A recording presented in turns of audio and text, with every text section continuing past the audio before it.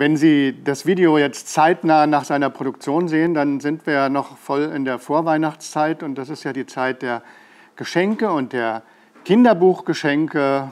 Also das ist ja der Klassiker für Kinder, ein schönes Buch zu Weihnachten zu schenken.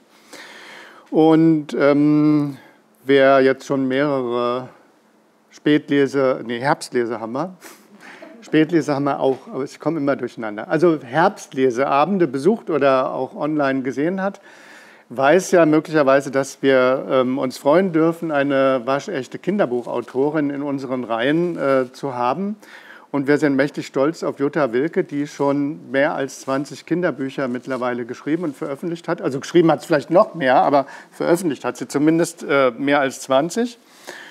Und ähm, was ich äh, Ihnen heute zeigen will, ist Ihr neuestes Werk, nämlich Das Karl-Geheimnis, erschienen im Koppenrad Verlag. Und das Karl-Geheimnis ist eine Geschichte für Kinder, sagen wir mal so ab 10 und ähm, ist wirklich ein, eine herzenswarme Geschichte und dabei auch ein bisschen eine spannende Geschichte. Ähm, und es spielt an einem, also in, in, in Hanau und in Südhessen würde man sagen an der Trinkhalle. Ähm, aber das Buch soll ja in ganz Deutschland äh, auch verstanden werden und deshalb ist es jetzt hier ein Bütchen. Also Sie kennen diese Bütchen, Trinkhallen, Hallen, Kioske, die irgendwo stehen und, und Sammelpunkte für die unterschiedlichsten Menschen sind. Und ein solches Bütchen, nämlich das Bütchen von Karl, spielt eine große Rolle äh, in diesem Kinderroman. Und es spielt auch eine große Rolle im Leben von Emil. Emil ist der Protagonist dieser Geschichte. Er ist zwölf Jahre alt und äh, ist der Ich-Erzähler dieses Buches. Und er hat gerade ganz schön viele Probleme zu bewältigen. Also A hat er eine echt fiese Klassenlehrerin, die Bertram. B, und das ist sehr traurig, sein Papa ist nicht mehr da. Und C, das hängt mit B zusammen, seine Mama muss schrecklich viel arbeiten und hat wenig Zeit. Sie leben zu zweit.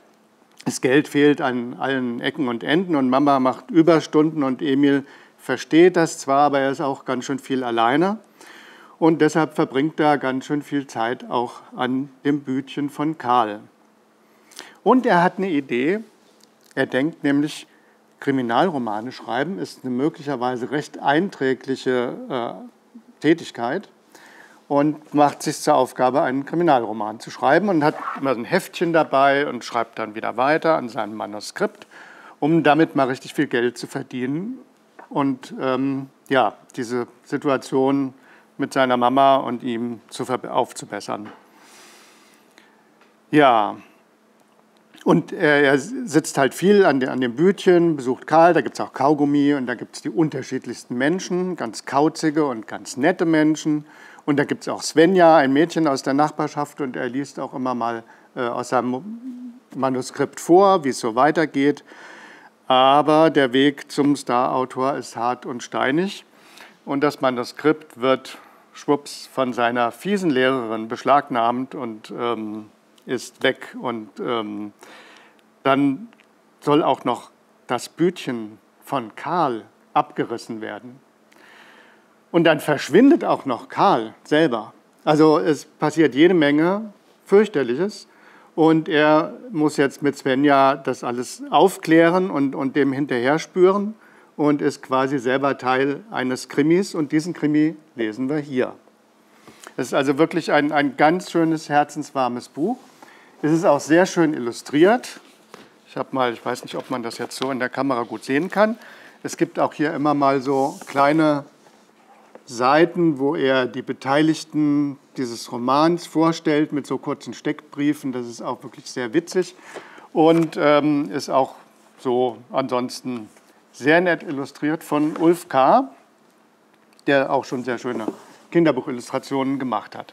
Also wunderbares Buch zum Lesen für Kinder ab 10 oder auch zum Vorlesen und das Vorlesen macht auch den Erwachsenen Spaß. Also bitte.